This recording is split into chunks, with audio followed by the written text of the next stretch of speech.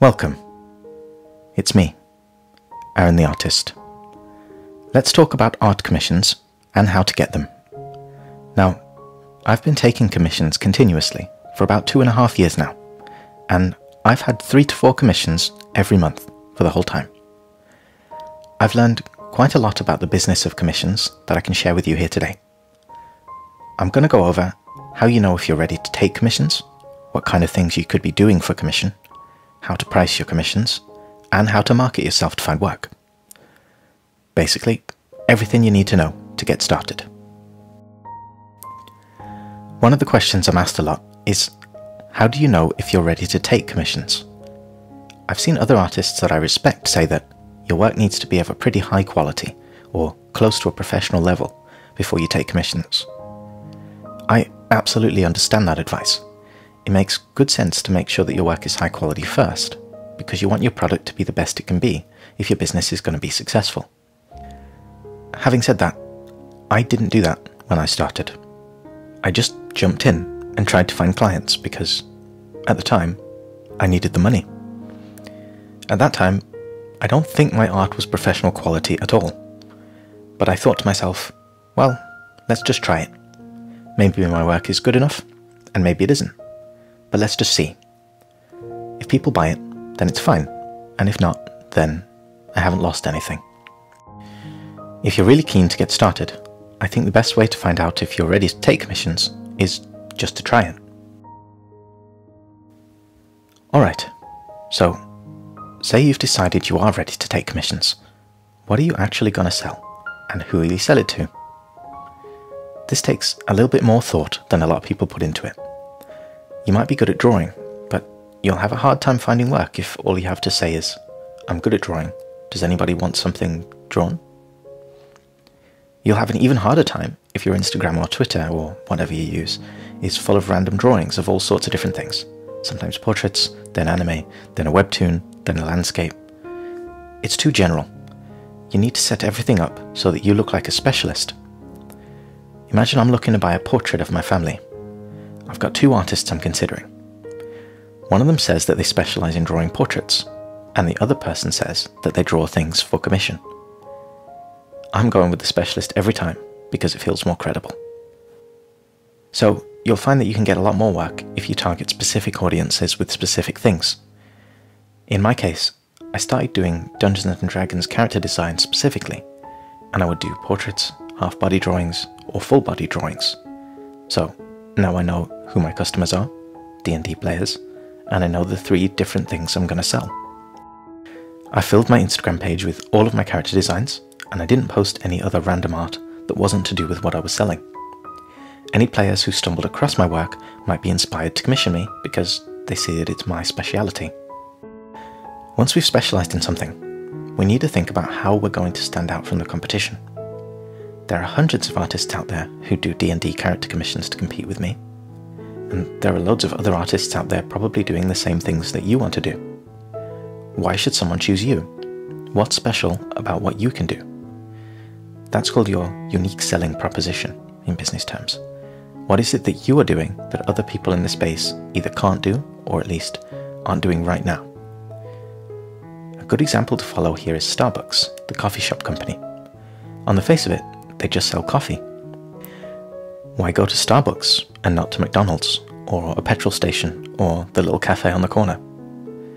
Well, according to Starbucks, it's because they sell premium coffee, personalized to your tastes. They're not the cheapest, but they say it's the highest quality and it's personal to you, and that makes them different to the other places that sell coffee. Now, I'm not saying that your unique selling proposition should be that you make premium quality personalized artwork, just like Starbucks makes premium quality personalized coffee. That's probably not a good idea, since there is almost always someone who has better quality work out there, and all commission artists personalize work to their clients anyway.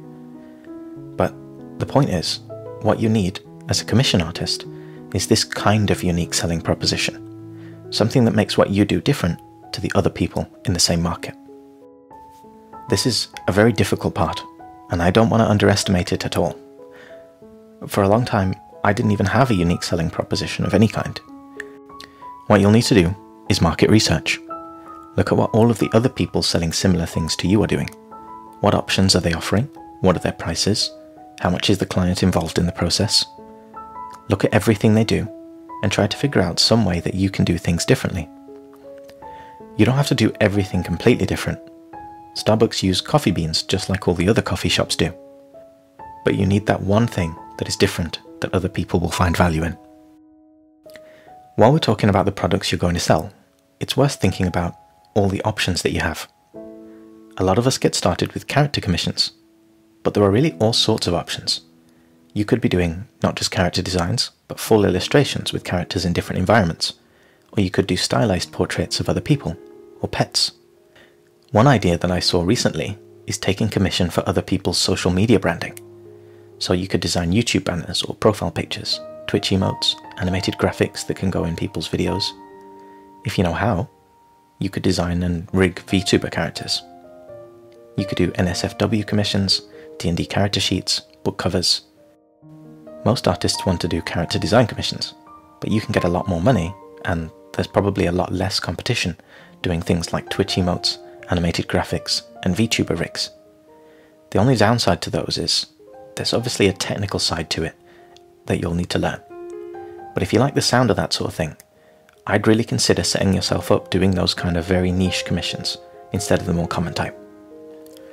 If your art is good enough and specific enough, you could even market yourself as making custom assets for indie video games. You could especially do that if you're any good with pixel art or 3D modeling. If you've worked out what kind of thing you're going to do, the next question is, how do you decide how much to charge? How do you price your work?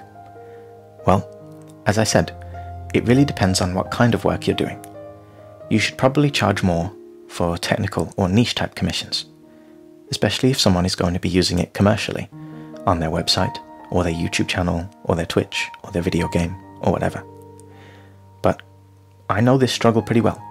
You don't want to set your prices too high because you don't think you're that good and you don't think people will want to pay for your work. You kind of think that charging a lower amount will mean that more people are interested so you set your prices at $15. I really encourage you not to do this, for two reasons. First, if you set really low prices, then you end up working long hours and not getting much money for it.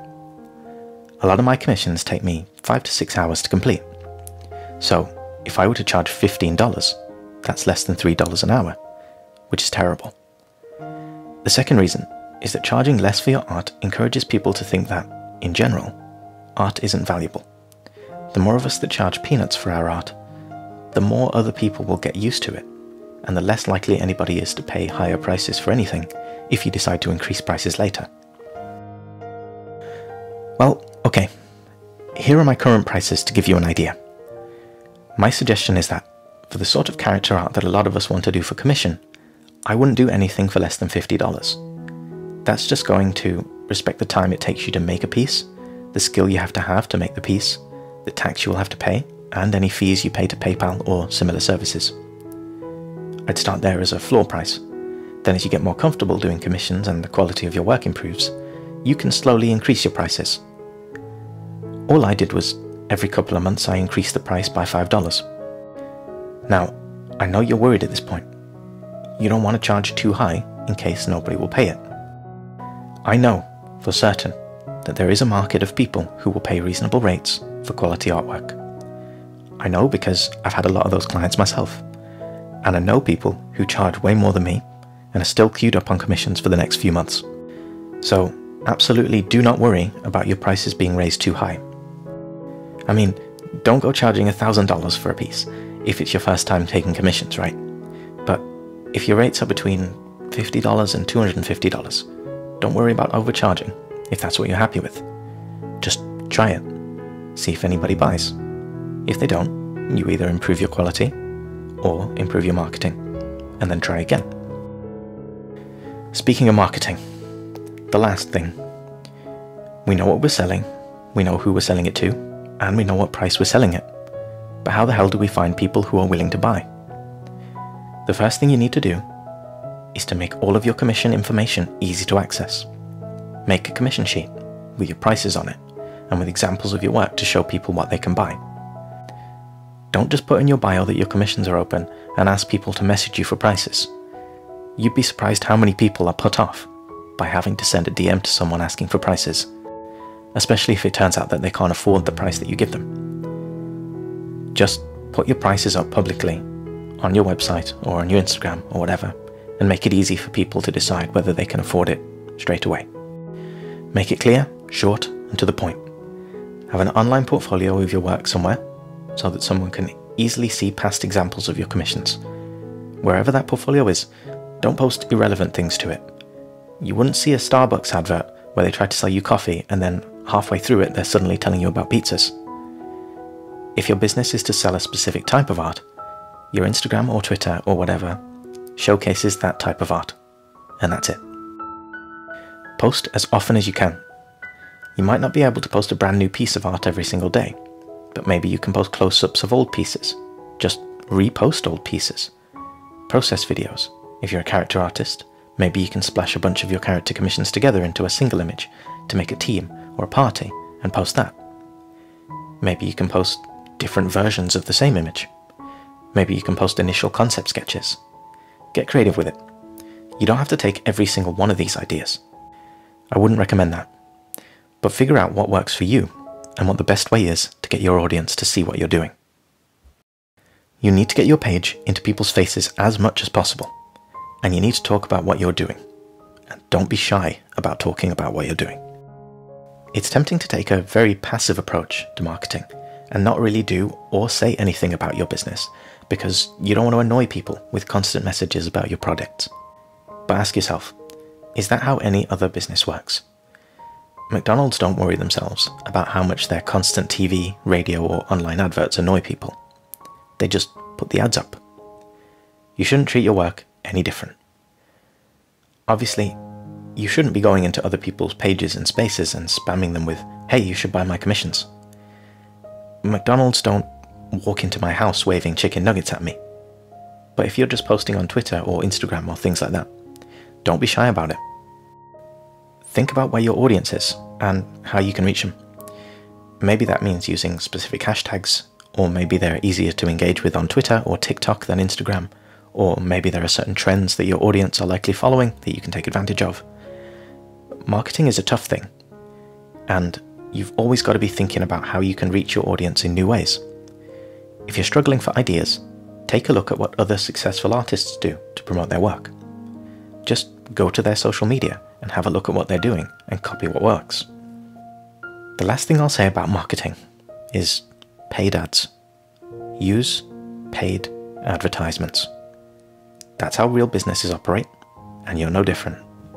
Starbucks pays for ads on TV, on the radio, on the internet. You can use paid ads as well. I've had loads of success using Instagram paid ads.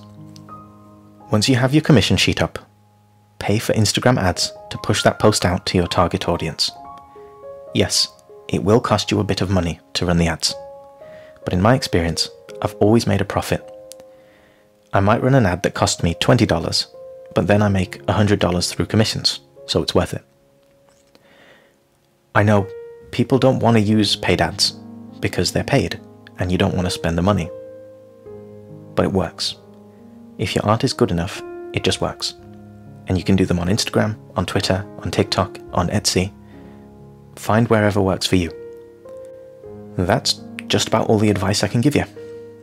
Make specific things for specific audiences. Figure out your unique selling proposition.